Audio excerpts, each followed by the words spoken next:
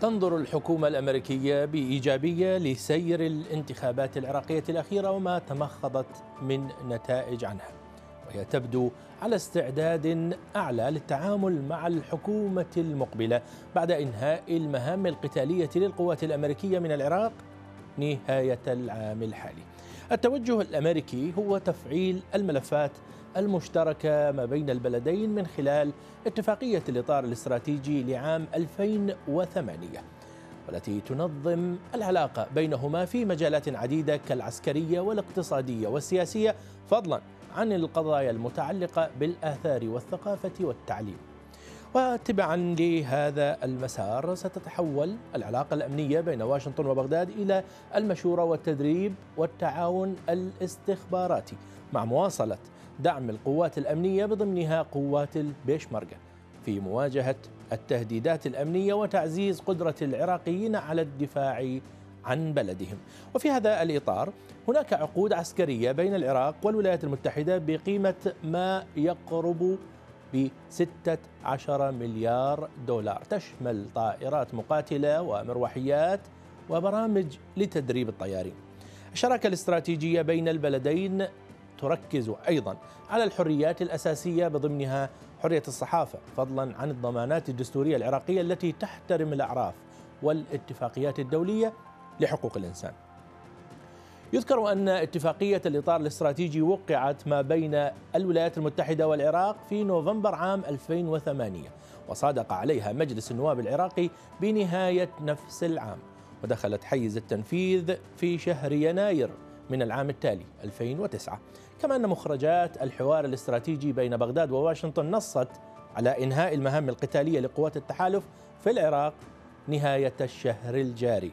ويتزامن إنهاء المهام القتالية الأمريكية في العراق مع تصاعد هجمات تنظيم داعش مؤخرا على القوات العراقية وقوات البيشمركة. كما شهدت البصرة أمس تفجيرا بدراجة نارية أسفر عن سقوط أربعة ضحايا. التهديدات الأمنية الجديدة والتي تعرض لها العراق تطرح عددا من الأسئلة. مفادها ما قدرة داعش على العودة إلى الواجهة مرة أخرى مع قرب انتهاء المهام القتالية للقوات الأمريكية في العراق؟ وما مدى قدرة القوات العراقية على مواجهة ذلك والتصدي له قبل حدوثه؟ فقد هاجم عناصر من داعش قرية خضر جيجة التابعة لقضاء مخمور في محافظة نينوى هذا الأسبوع. ما يعد دليلا واضحا على إمكانية عودة نشاط داعش في العراق. الهجوم أودى بحياة ثمانية مقاتلين من قوات البيشمركة وثلاثة مدنيين من الأهالي. وإلى البصرة الآمنة نسبيا في الفترات السابقة لا يزال التحقيق مستمر لمعرفة الجهة التي تقف وراء التفجير الإرهابي الذي تعرضت له المدينة من خلال عبوة ناسفة في إحدى الدراجات النارية. ما أدى إلى موت عدد من المواطنين المدنيين وحرق سيارتين. هذه التداعيات الأمنية دفعت برئيس الوزراء العراقي مصطفى الكاظمي إلى زيارة قضاء مخمور ومحافظة البصرة على رأس وفد أمني ضم وزير الدفاع ورئيس أركان الجيش ونائب قائد العمليات المشتركة ورئيس جهاز مكافحة الإرهاب ووكيل وزارة الداخلية لشؤون الاستخبارات مشددا. الكاظمي على ضرورة مراجعة الخطط الأمنية ومواجهة خطر بقايا داعش الإرهابية.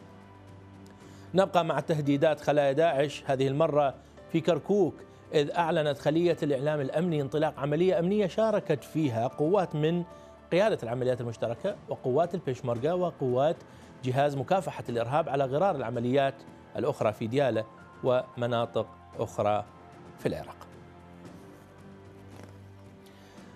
ينضم لنا للحديث أكثر من واشنطن الخبير الأمني والعسكري السيد جول ريبرن. أهلا بك معنا سيد ريبرن. أبدأ كيف تقارن تغيير المهام القتالية الأمريكية إلى استشارية تدريبية مع الانسحاب الذي تم الانسحاب الأمريكي الذي تم من العراق أواخر عام 2011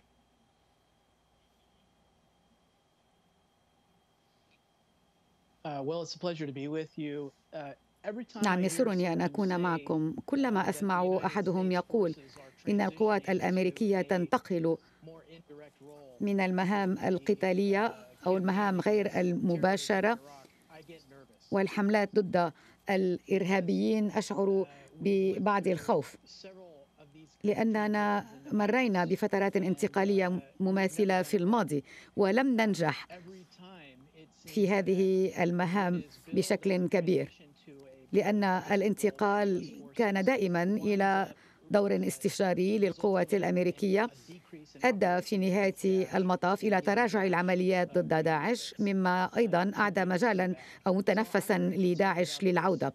فأنا يقلقني هذا التكرار الجديد لهذا الانتقال لأن الخطر موجود ولا أريد أن نرى تكرارا لهذا الانتقال الذي رأيناه في العام 2003 و2008 و2010 و2011 ويكون مؤسفا أن نتراجع عن إمكانية الاستمرار بالضغط على داعش.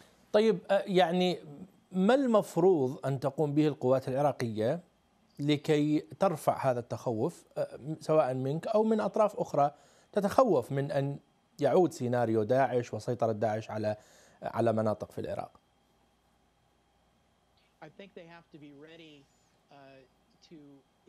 أعتقد أنه لا بد من أن تكون هناك إمكانية لطلب الأمريكيين بالعودة إلى عمل أكثر فعالية على الأرض. نعرف أن القوات الأمريكية وقوات الائتلاف تلعب دورا ضد داعش لا غير متوفر لدى القوات العراقية الآن وبالتالي قد تحصل طبعا القوات العراقية على هذه القدرات ولكن ليست جاهزة الآن فهناك مخاوف حقيقية.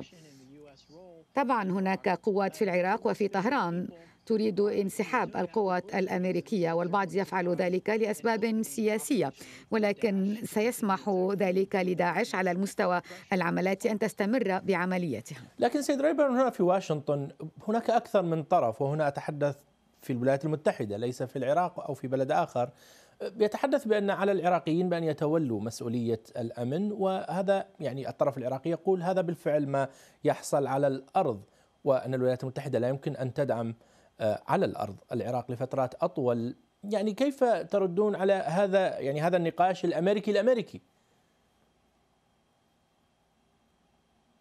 Sure, you're absolutely right that uh, there there نعم وأنت على حق من دون شك. هناك uh, أشخاص من الجهتين. اعتمدوا مواقف محدودة لأسباب سياسية ليست بعيدة النظر لأسباب سياسية. ولكن إن لم نتوخى الحذر سيتراجع الضغط على داعش. أمريكا هي دولة يحدها محيطان. uh, وتقليديا نحن مع الوقت نتراجع من أو عن التدابير المتعلقة بالأمن القومي في مناطق أخرى. وذلك يشكل مخاطر لنا ولحلفائنا. علينا أن نوازن هذا التوجه. كذلك في بغداد هناك توجه للاستماع إلى الضغط الإيراني. وهناك أيضا شعور بالسياده العراقية وهو شعور قوي. ولكن الفريقان أو الفريقين يجدر أن لا يتخذ القرارات المحدودة النظر. طيب بالمقابل وبناء على ما قلت ما هي المسؤولية التي تقع من وجهة نظرك؟ على واشنطن حيال هذا الملف والملف الأمني في العراق في المرحلة المقبلة مرحلة ما بعد تغيير المهام القتالية للقوات الأمريكية في العراق.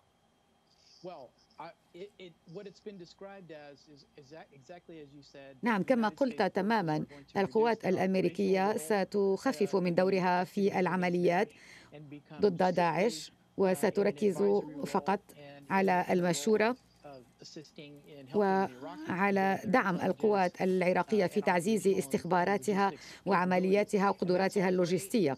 وكل ذلك طبعا ممتاز. ومهم ويتماشى. أيضا مع اتفاق الإطار الاستراتيجي كما قلتم في البداية. ولكن علينا أيضا أن نكون واقعيين. الائتلاف ما زالت لديه قدرات غير متوفرة للقوات العراقية. ويكون من المؤسف أن لا نكون واقعيين في هذا المجال وأن نسمح بتراجع الضغط على داعش لو نظرت إلى ما حصل في المخمور كما قلتم أو كركوك وفي ديالا وفي أعالي حوض الدجلة. لا يمكننا أن نقول إن الوقت حان لخفض الضغط على داعش لأنه في هذه المناطق تحديدا داعش وقبل داعش القاعدة كان لديهما سجل في الانسحاب إلى هذه المناطق النائية لإعادة بناء قدراتهم ثم العودة للهجوم على المدن والقرى العراقية من هذه المناطق. نعم. الوقت مبكر برأيي الآن لنجزم أن داعش لا يمكنه أن يعود. يعني هنا نقطة يعني ذكرت نقطة تخفيف لا يمكن الحديث عن تخفيف الضغط على داعش yes, ولا أعتقد لا أعتقد بأن هناك طرف يتحدث عن تخفيض الضغط على داعش سواء من الجانب العراقي أو حتى من الجانب الأمريكي. بل حتى البعض بعض المسؤولين الأمريكيين يتحدثون بأن حتى التكنولوجيا التي تمتلكها الولايات المتحدة في عام 2010 أو 2011 هي ليست نفس التكنولوجيا الموجودة اليوم وأن طابع الدعم الاستخباراتي والدعم اللوجستي يختلف. يعني حتى الدعم الأمريكي للعراق سيختلف. هل تتفقون مع هذا الطرح؟ بأن الولايات المتحدة ستبقى تدعم لكن ليس مباشرة على الأرض.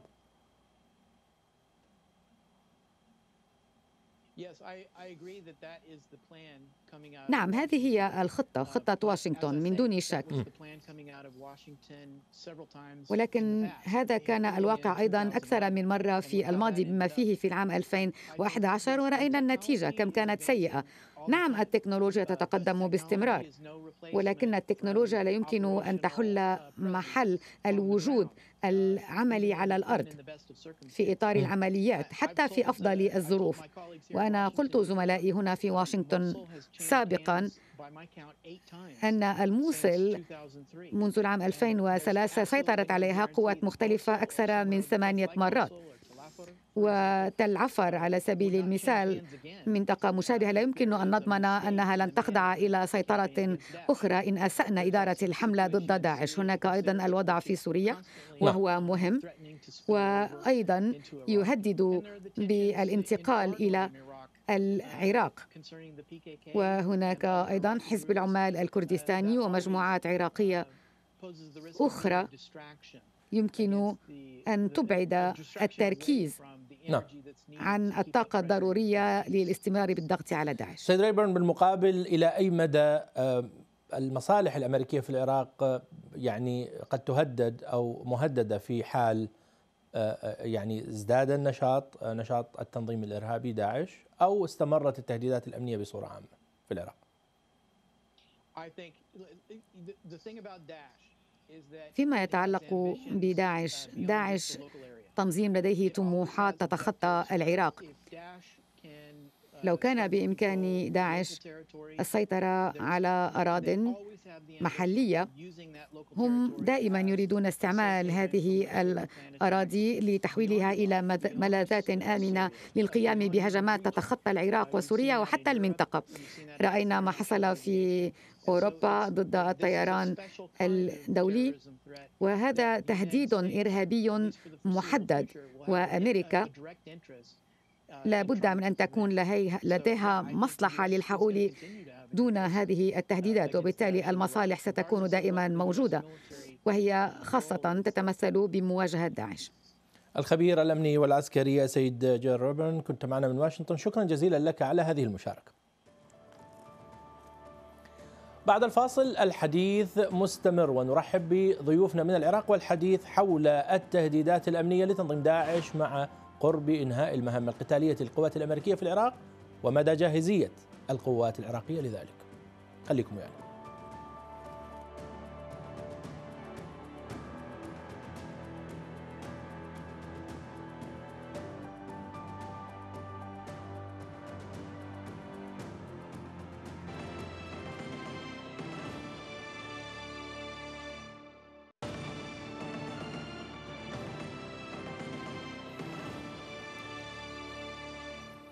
أهلا بكم متابعي حلقة اليوم من برنامج بالعراقي. للحديث أكثر يشاركنا الحوار من بغداد الناطق باسم القائد العام للقوات المسلحة اللواء يحيى رسول ومن السليمانية أمين عام وزارة البشمركة الفريق جبار الياور ضيوفي الكرام. أهلا وسهلا بكم ويانا في برنامج بالعراقي وشكرا لوقتكم. أبدأ مع حضرتك سيادة الفريق جبار ياور. آه، يعني ابتداء من الأحد الماضي كان آه، باشرتم بالتعاون مع قوات الأمن الاتحادية اجتماعاتكم لتنفيذ عمليات مشتركة ضد داعش في كركوك وديالة. ضعنا لو سمحت في صورة آلية التعاون بين الطرفين.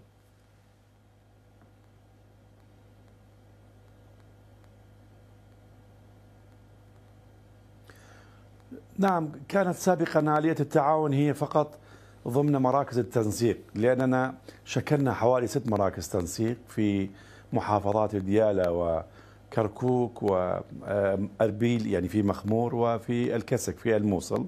وكان لدينا مركزين آخرين رئيسيين في أربيل وفي بغداد. كان العمل ضمن هذه المراكز هو التنسيق المعلوماتي يعني آه، تبادل المعلومات الاستخبارية أيضا تنظيم مرور الأرتال العسكرية أيضا الاتصال ما بين الوحدات العسكرية الموجودة لأن لدينا خطين لانتشار القوات خط انتشار قوات البيشمركة من خانقين إلى على الحدود الإيرانية إلى منطقة سحيلة على الحدود السورية م. الذي هو حوالي طوله 560 كيلومتر وأيضا بالمقابل هناك خط انتشار للقوات الاتحادية من خانقين على الحدود الإيرانية إلى سحيلة آه، على الحدود السورية بنفس المسافة نعم. آه، لذا كانت هذه المراكز تنسق ما بين هذه القوات آه، وأيضا كان هناك لدور لهذه المراكز هو لتبادل المعلومات حول الأرض وأيضا إن كان هناك مطلوبين من الجانبين من المحاكم تسليمهم. ولكن منذ السبت يعني منذ اجتماعنا هذا الأسبوع السبت نحن قررنا آه، آه، قيادة قوات البيشمركة وأيضا قيادة العمليات المشتركة أن آه، نتجه نحو العمل المشترك الأمني والعسكري على الأرض يعني في الميدان ليس فقط في مراكز التنسيق أو في ضمن الوزارات أو في الاجتماعات واللجان وإنما نحاول على الأرض أن تكون هي يكون هناك تنسيق مباشر ما بين الوحدات الصغيرة يعني من من الفوج إلى الألوية إلى المحاور وقيادات العمليات ويكون هناك بينهم يعني ينظمون خطط ويعملون آه، على آه، عمليات عسكرية مشتركة في في على الأرض والميدان في المناطق التي نشط الفريق فيها هذا على كل على كل آه، هذا الخط اللي حضرتك حكيت عنه؟ نهاية عام 2017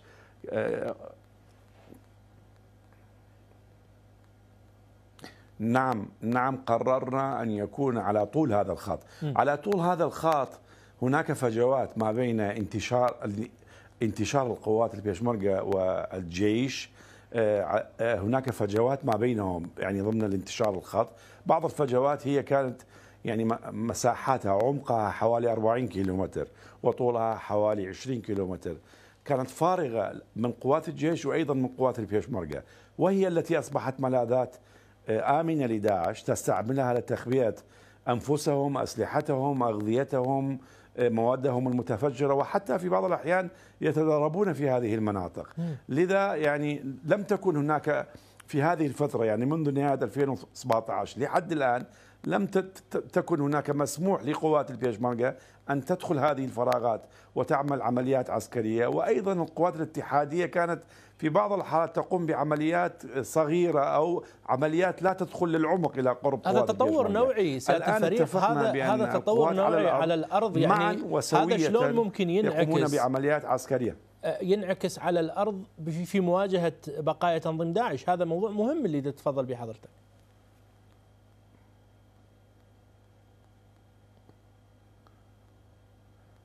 نعم نعم نعم نحن توصلنا آه، إلى إلى إلى خاصة بعد العمليات الإرهابية الأخيرة لداعش خلال السنتين الشهرين الأخيرين. نعم كما قلت كان لداعش على طول الفترة منذ 2018 و19 و20 و21 كانت سنويا هناك المئات من العمليات الإرهابية التي تقوم بها وضحايا بالآلاف موجودين في هذه المنطقة. ولكن كما قلت لم تكن هناك اتفاقية مثل الاتفاقية التي آه، جرت بيننا هذا الأسبوع بعد دق ناقوس خطر داعش لأن زادت سرعة العمليات الإرهابية في هذه الفترة نعم. لذا إن غيرنا آه، نوع التعاون أو التنسيق من تنسيق مكتبي إلى تنسيق ميداني للعمل المشترك ضد داعش. شكرا شكرا سيادة الفريق خليني أروح لبغداد وأسمع من اللواء يحيى رسول كان اكو مشكلة بالصوت يعني ما قدرنا يشارك ويانا من البداية سيادة اللواء أهلا وسهلا بك في برنامج بالعراقي لو سمحت تضعنا في صورة زيارة السيد الكاظمي إلى مخمور والبصرة وآخر ما جاء في لقاءاته الأمنية.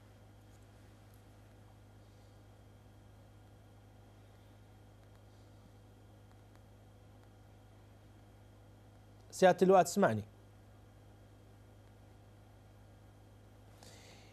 يبدو يبدو عندنا مشكلة بالصوت. حتى لا يروح من عندنا الحوار. نريد أه، تسمعني سيادة اللواء؟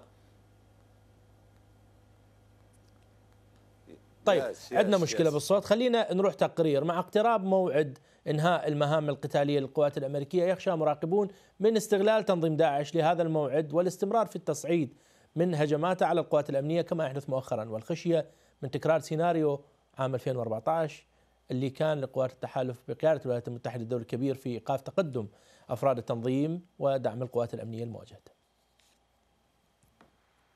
على حين غرة عاش العراقيون اياما وصفها الخبراء بالمرعبة عام 2014 عندما انهارت القوات الأمنية سريعا أمام عناصر تنظيم داعش الذي احتل ثلث أرض العراق بغداد باتت مهددة بعد أن بدأ أفراد التنظيم يزحفون نحوها فيما أصبح العراق حتى أصغر منطقة إدارية فيه تعيش حالة من الانفلات الأمني لم يسبقها مثيل.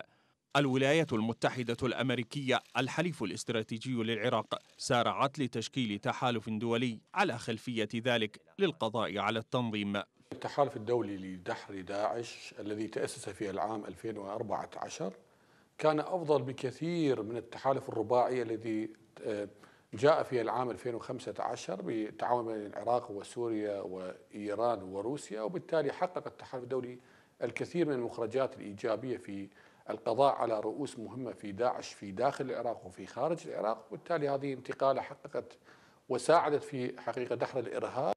تمكن العراق بدعم التحالف من إعادة فرض سيطرته على المساحة التي احتلها داعش واستمر التحالف بقيادة الولايات المتحدة بدعم القوات الأمنية العراقية في حربها الدائرة ضد الخلايا النائمة للتنظيم للسنوات السبع الماضية.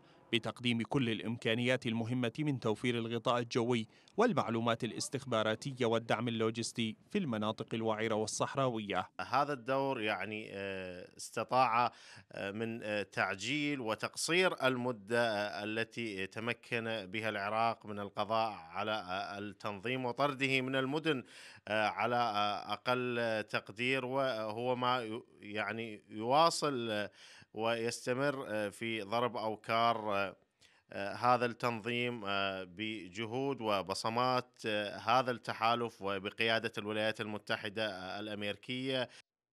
ومع اقتراب موعد انتهاء المهام القتالية للقوات الأمريكية يرى مراقبون أن الدور المحوري للتحالف الذي تشكل بنحو 20 دولة قادتها الولايات المتحدة الأمريكية لا زال مهما لرفع جهوزية القوات الأمنية العراقية. وإيقاف تصاعد الاستهدافات التي يشنها أفراد تنظيم داعش مستغلا إخلاء القوات الأمريكية للكثير من القواعد العسكرية وتحول مهامها في العراق باتجاه التدريب والمعلومات الاستخباراتية.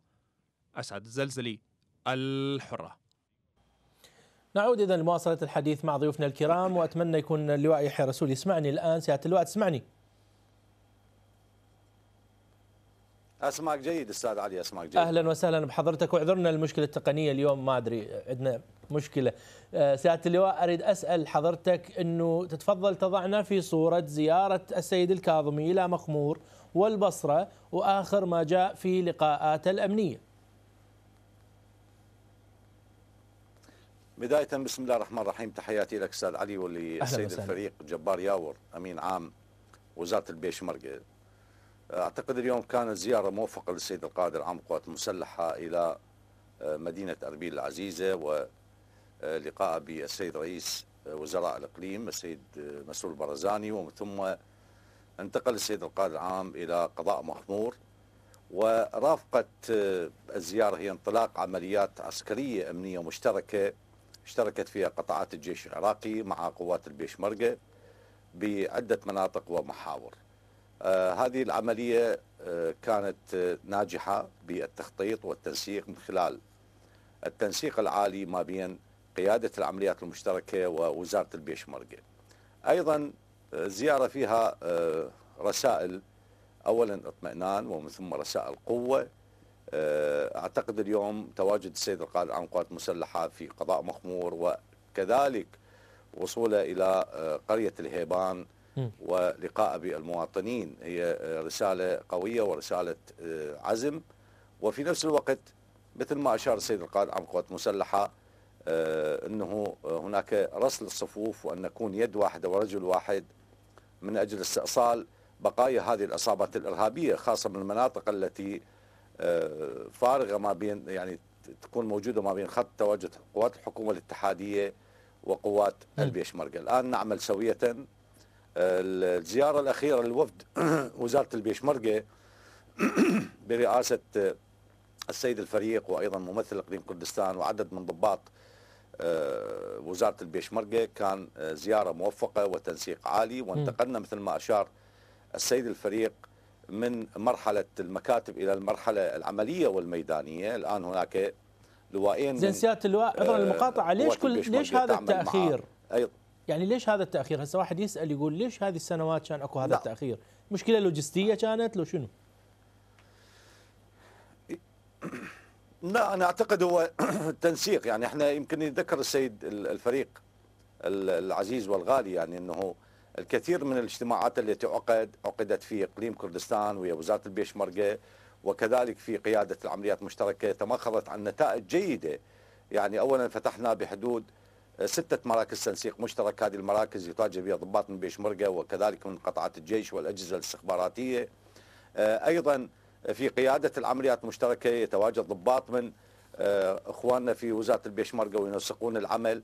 الآن انتقل العمل إلى أنه الوحدات هي نفسها على مستوى الوحدة يعني الفوج. هناك تنسيق ما بين آه، آمري الوحدات وضباط الاستخبارات في كلا الجانبين للقيام بهذه العمليات وملء الفراغات. بعدها حقيقة كانت زيارة مباشرة للسيد القائد العام إلى آه، مدينة البصرة العزيزة.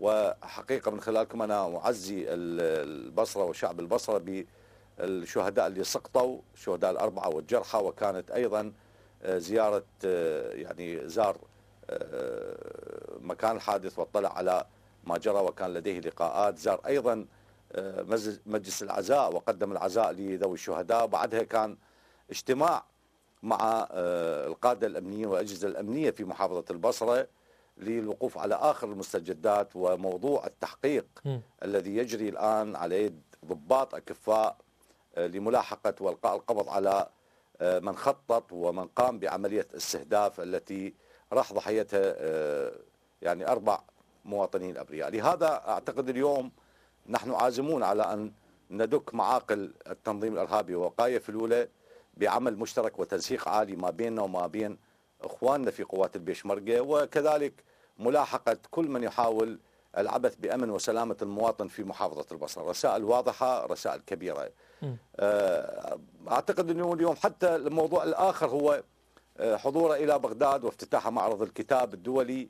هي رسالة أخرى أنه رغم كل ما يجري لكن هناك آه، يعني الثقافة والاستمرار بالحياة بالشكل الطبيعي. أنا أعتقد اليوم التحدي هو ليس يعني سهل وليس صعب في نفس الوقت. مرينا بتجارب كبيرة. أعتقد اليوم المرحلة القادمة ستكون فيها نتائج آه، كبيرة وإيجابية على آه، كافة المستويات وخاصة في موضوع تأمين هذه المناطق آه، والتنسيق العالي الذي يجري ما بين قطاعات الحكومة الاتحادية وقطاعات نعم. وزارة البيشمركة لملاحقة واستئصال بقايا هذه الفلول الإرهابية. حتى بس أريد أبقى بهذه النقطة قبل ما أروح. للفاصل أريد أسمع من فريق جبار ياور. أنا سألت سؤال اللي هو سأل السيد اللواء آه، التوقيت ليش كل هذا التأخير وليش الآن وصلنا لهذه المرحلة اللي يشتغلون الطرفين على الأرض مع بعض؟ وجهة نظركم.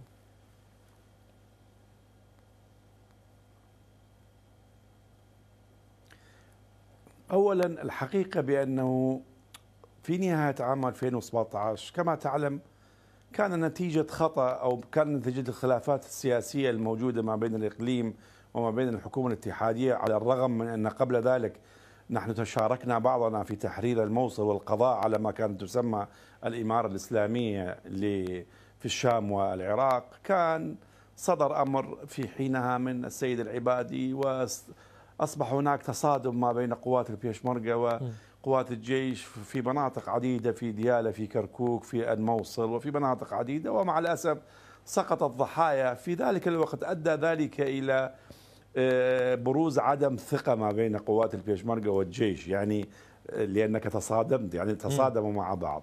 مع ذلك بعد ذلك أيضا وبعد ذلك استمرت خلافات سياسية أيضا ما بين الإقليم وما بين الحكومة آه، الاتحادية. وأيضا كانت هناك اتجاهات وكتل سياسية يعني ترفض التعاون. كانت تتصور لديها تصور خاطئ. إذا كان هناك عمل مشترك ما بين القوات البيشمركة والجيش سوف تعود مرة أخرى قوات البيشمركة إلى داخل المدن والذي نحن لا نؤمن بدخول أي قوات عسكرية إلى داخل المدن. لا البيشمركة ولا الجيش ولا الحشد الشعبي ولا أي قوة أخرى. المدن هي آه، أمن المدن هي يجب أن تكون بيد القوات الأمنية والشرطة.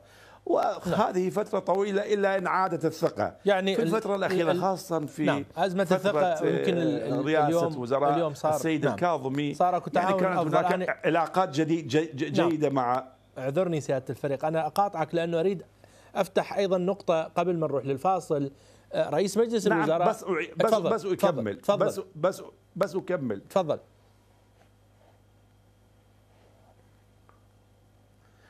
نعم.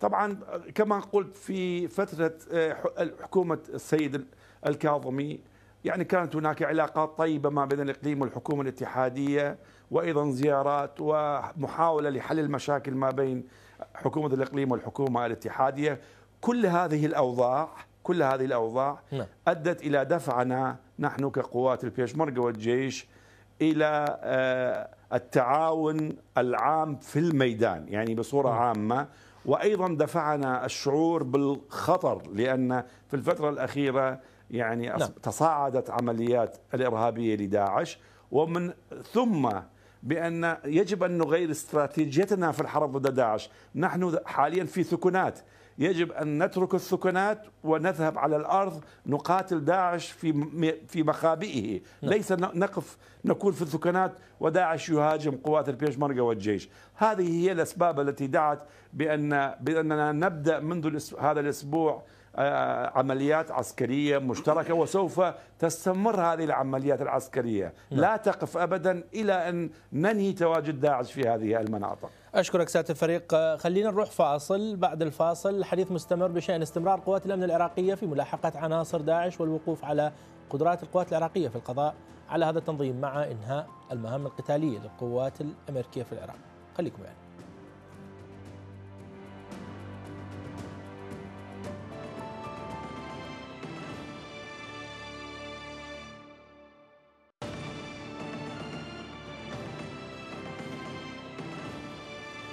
أهلا بكم مرة أخرى متابعي حلقة اليوم من برنامج بالعراقي. رئيس مجلس الوزراء مصطفى الكاظمي في إجابة على سؤال لمراسلة الحرة في البصرة تعهد باستمرار ملاحقة كل من تورط بدماء العراقيين.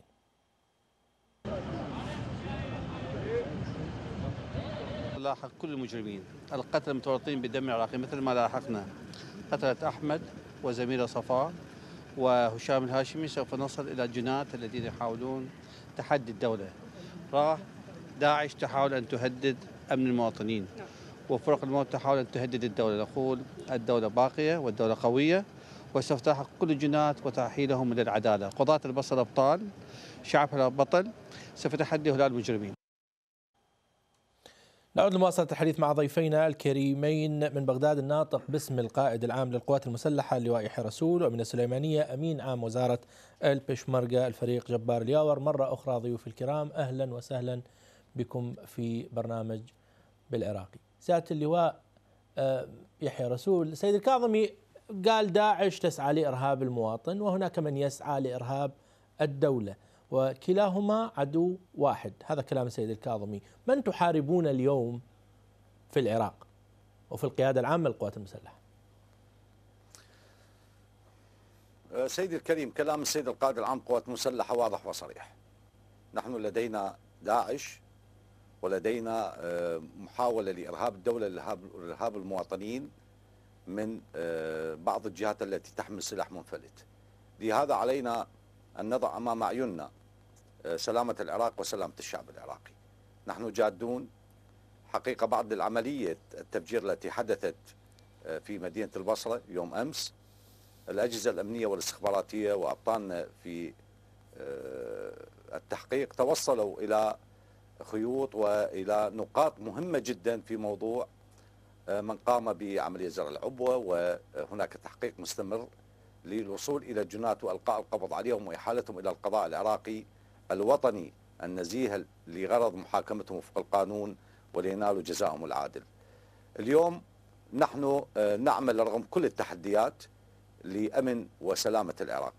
كل الأراضي العراقية وكل أبناء شعبنا من شماله إلى جنوبه ومن غربه إلى شرقه نحن جادون بحمايته وسلامة الأراضي العراقية والدفاع عن العراق وعن الشعب العراقي. لهذا أعتقد اليوم أعذرني المقاطعة. الأجهزة الأمنية حضرتك قلت أكو خيوط أكو خيوط وأنا أعرف حساسية الموقف وأعرف أنه التحقيق ما نعم. زال جاري بس كأي صحفي راح أسأل أي معلومات أي خيوط تقدرون تشاركوها ويانا آه، ويا الناس اللي دا يتفرجون الآن ويسمعون حضرتك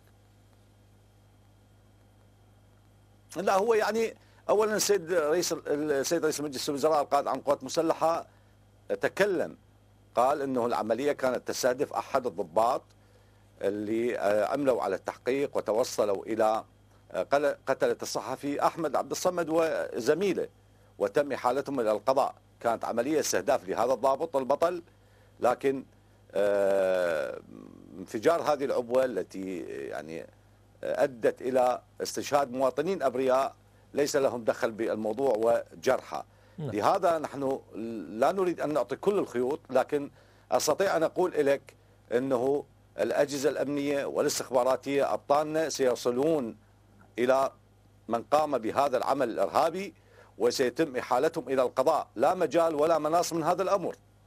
نعم.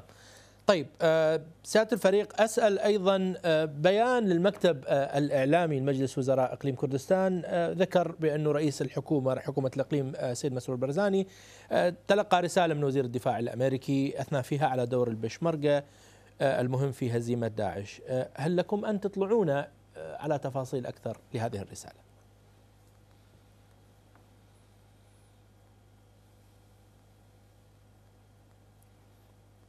بالحقيقة أنا ليس لدي تفاصيل أكثر حول هذه الرسالة نعم. ولكن الرسالة واضحة آه، رسالة السيد أوستن وكما تعلم السيد أوستن له تجربة تجربة طويلة في العراق وكان آه، آه، قبل انسحاب القوات الأمريكية نهاية عام 2011 كان هو قائد للقوات الأمريكية في حينها كانت هناك القوات المتعددة الجنسية موجودة قبل قوات التحالف الدولي يعني نعم. في يعني التحالف الدولي جاءت في بعد عام 2014 ولديه آه، يعني ولديه علاقات واسعة أيضا مع كل القادة العراقيين وخاصة القادة في إقليم كردستان وكنا في ذلك الزمن نحن أيضا آه، لجنة عليا للتنسيق ما بين القوات وكنا اسبوعيا نجتمع مع سيادته مع طيب. آه، القادة طيب سيادة الفريق برأيكم شلون ممكن يتأثر يعلم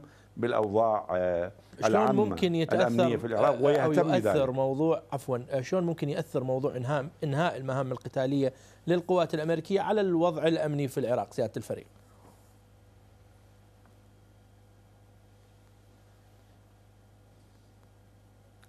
عزيزي أنا وضحت ذلك سابقا لعدة قنوات عربية وعالمية. الحقيقة أن لا أمريكا ولا قوات التحالف الدولي ليست لديها قوات كبيرة قتالية على الأرض في منذ عام 2014 نعم كانت لديها قوات قتالية أمريكا منذ عام 2003 إلى نهاية عام 2011 كانت لديها قوات كان في العراق هناك فيالق يعني فرق وفيلق عسكري موجود في العراق وكانت هي تقود كل العمليات العسكرية. وكما نعلم أن منذ 2003 إلى حين 2011 قدمت حوالي 4600 قتيل من القوات الأمريكية و31 ألف جريح كان لديها ضمن قواتها في العراق. ولكن من عام 2014 بعد تشكيل التحالف الدولي ولحد الآن ليس هناك لا جريح ولا قتيل من القوات الأمريكية وهذا هو دلالة على أن القوات الأمريكية لم تكن لها قوات مشاة كبيرة على الأرض تشارك في العمليات العسكرية وإنما كانت قوات البيشمركة والجيش الاتحادي وباقي قوات الإقليم وباقي القوات الاتحادية والحشد الشعبي هي التي تقاتل على الأرض آه، قوات آه، إرهابي داعش وإنما كان هناك دعما كبيرا نعم. آه، لوجستيا وأيضا دعما جويا ودعما استخباريا ودعم بالسلاح والعتاد والتدريب وهذا كله سوف يبقى آه، ضمن اتفاق الإطار الاستراتيجي نعم. الذي وقع ما بين أمريكا وما بين آه، الحكومة العراقية نعم. أنا أتصور بأن سوف سوف يستمر هذا الدعم من قبل التحالف الدولي بصورة عامة وللعلم الجميع حاليا ليس فقط التحالف الدولي وأمريكا هناك حاليا خلية للناتو موجودة في بغداد وجايك أنا وهي تشترك مع يعني القوات الاتحادية في مجالات التدريب أنا والاستشارة وغيرها. يعني هناك أريد أسألك على الاجتماع الأخير. نعم أريد نعم. أسألك أنا على الاجتماع الأخير بينكم بين الناتو. بس خليني أروح لسيادة اللواء يحيى رسول. سيادة اللواء وفقا لاتفاق الإطار الاستراتيجي آه، المهام تنتهي بنهايه هذا الشهر. هل بدأ تنفيذ هذا البند؟ يعني نريد نقول هل المهام راح تتغير بنهاية السنة بهاليوم ولا بدأ موضوع تغيير المهام من الآن. لا لا هو يعني باشرت القوات الأمريكية والتحالف الدولي بعملية آه، انسحاب القوات ذات المهام القتالية والإبقاء على المستشارين. أنا لا أريد أوضح مثل ما أشار السيد الفريق أنه آه، إحنا ما عندنا قوات قتالية بأعداد كبيرة جدا حتى في معارك التحرير. نعم الولايات المتحدة الأمريكية آه، نشكرها على كل الدعم اللي قدمته لنا من خلال التدريب التسليح التجهيز الضربات الجوية تبادل المعلومات الاستخباراتية لاستطلاع المصور والمسلح. وهذا كان حقيقة على مدار الساعة. أنا أذكر في معركة تحرير مدينة الموصل تم تدريب آه، فرقتين عسكرية اللي هي فرقة 15 وفرقة 16 وهيئت ودربت وسلحت وجهزت بكافة الأسلحة والمعدات والآليات. وهيئت للدخول لمعركة مدينة الموصل وكان لها واقع كبير بعمليات التحرير بتحرير مدينة الموصل. الآن عملية آه، استبدال المهام يعني أولا آه، خروج القوات ذات المهام القتالية والبقاء على المستشارين. هذا ما تمخض عن الحوار الاستراتيجي والحوار المشترك الذي سيادة اللواء آه يعني أستاذنك ممكن عندك أرقام؟ إيش قد إيش قد القوات اللي راح تنسحب؟ وإيش قد القوات اللي عندها مهمة استشارية وراح تبقى؟ هل عندنا هذه الأرقام؟ يعني لا إذا سمحت لي اولا أنا اريد اوضح شغلة ليطلع عليها الجميع. اولا القوات اللي نقول عليها ذات المهام القتالية هذه القوات هي مو عندها مهام تحمل السلاح وتقاتل على الأراضي العراقية لا. اللي قاتل اللي حرر واللي قاتل واللي يزال لحد هذه اللحظة هي القطاعات المشتركة العراقية. لكن هذه القوات هي مسؤوليتها تأمين الحماية للمستشارين من التحالف الدولي. عملية انسحابها وخروجها ستخرج سيبقى فقط المستشارين وهذا بتقدير القيادة العسكرية العراقية ما نحتاجه من المستشارين. سيكون وجودهم داخل معسكرات عراقية وتأمين حمايتهم وسلامتهم من قبل القوات العراقية. لهذا أعتقد اليوم المرحلة اللي تقدمنا بها أعتقدها مرحلة جيدة. آه لازلنا حقيقة نحتاج إلى موضوع التدريب التسليح التجهيز. في بعض الأحيان أيضا نوجه طائرات التحالف آه، الدولي والطائرات الأمريكية بضربات جوية في بعض المواقع اللي نحتاجها وبالتنسيق وأمر من قيادة القيادة العسكرية العراقية. لهذا يجب أن نوضح للعالم ما يجري الآن آه، بعد الحوار الاستراتيجي وكذلك الاجتماعات التي حدثت ما بين الجانب الأمريكي واللجنة الفنية التي آه، أكملت عملية الاجتماعات وما تمخضت عنه. نهاية هذه السنة يوم 31 مثل ما أشرت كل هذه القوات ذات المهام القتالية حقيقة أنا لا أمتلك أرقام دقيقة نعم. عن هذا عنها لكن كلها ستخرج. سيبقى فقط المستشارين وستبقى الشراكة مع التحالف الدولي في موضوع الدعم اللوجستي، التدريب، التسليح، المعدات وكذلك تبادل المعلومات الاستخباراتية. طيب وفي بعض الأحيان سياده اللواء أريد بس أريد أقاطعك و... هنا واعذرني المقاطعة. هل يعني قلت إنه إحنا حتى الضربات الجوية إحنا اللي ننطي إحنا اللي نقول للأمريكيين وين يضربون؟ يعني هذه يعني تحددوا لهم الأهداف. المعلومات على الأرض أنتم اللي تقدموها نعم. للجانب الأمريكي؟ نعم. نعم. نعم. لدينا معلومات استخباراتية ننسق هذه المعلومات ندقق المعلومات نحللها نقاطعها وننسق مع المستشارين وتعطى الأوامر لطائرات التحالف بأمر القيادة العسكرية العراقية لتوجيه ضربات باتجاه معاقل عصابة داعش الإرهابي. وفي بعض الأحيان هناك تبادل المعلومات الاستخباراتية مع التحالف الدولي. هذا التنسيق وهذه الشراكة هذه الاستشارة تقدم الكثير. سيدي الكريم خطر داعش لا زال قائم. لا زالت الأراضي السورية يتواجد بها الكثير من العصابات الإرهابية ومن ضمنها تنظيم داعش الإرهابي. في معسكر نعم. الهول آلاف الإرهابيين موجودين. في سجن الحسكة كذلك بحدود عشرة آلاف إرهابي.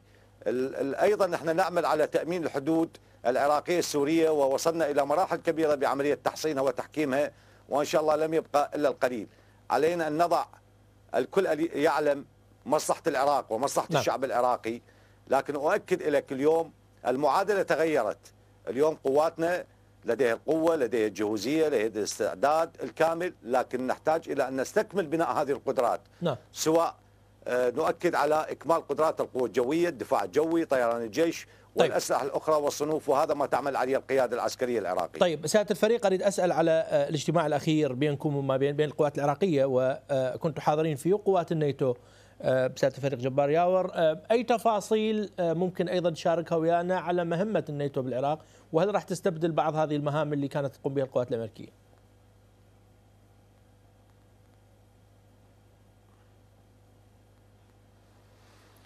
نعم طبعا كان هناك كما قلت اجتماعين كان لدينا السبت اجتماع مع قيادة العمليات المشتركة وكان يشارك في الاجتماع أيضا قوات التحالف الدولي وأيضا كان في يوم الاثنين لدينا أيضا اجتماع مع في وزارة الدفاع وفي قيادة العمليات المشتركة حول نفس نفس المواضيع هي.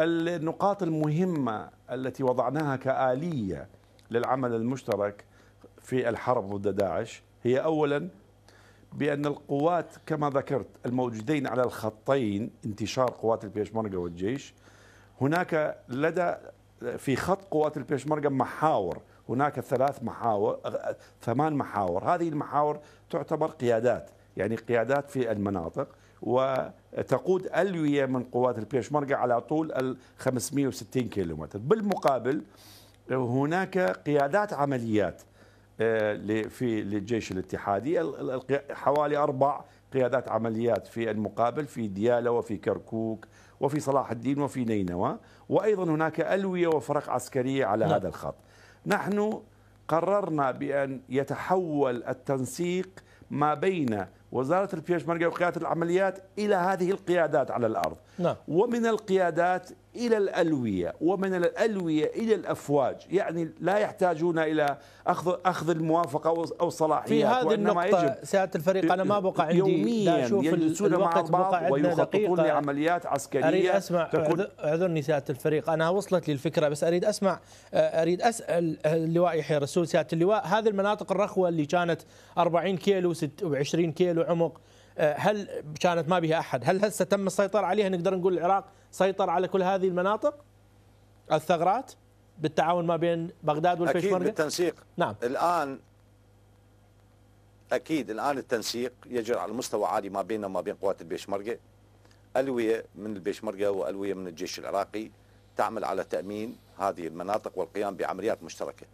ومثل ما أشار السيد الفريق إنه آه، الآن أصبحت حرية بالعمل ما بين الوحدات العسكرية آه، في الحكومة الاتحادية وفي وزارة البيشمركة واخواننا في قوات البيشمركة. لهذا هذه المناطق نحن جادون. العمليات تستمر بها. الاستراتيجيه تغيرت.